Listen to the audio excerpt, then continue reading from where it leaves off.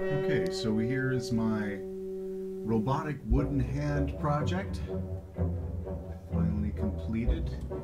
Every single piece of this is made from popsicle sticks, paper clips, monofilament,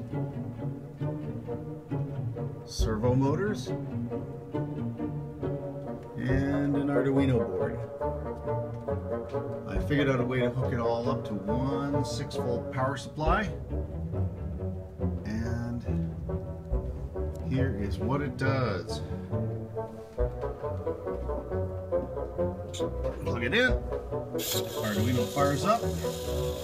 Servo motors begin to turn. And I just have each one going on a slightly shifted sine wave.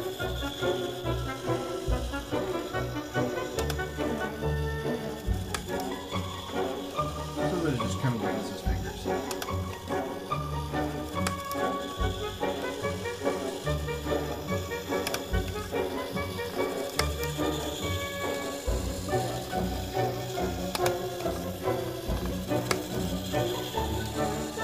So the next thing to do is install a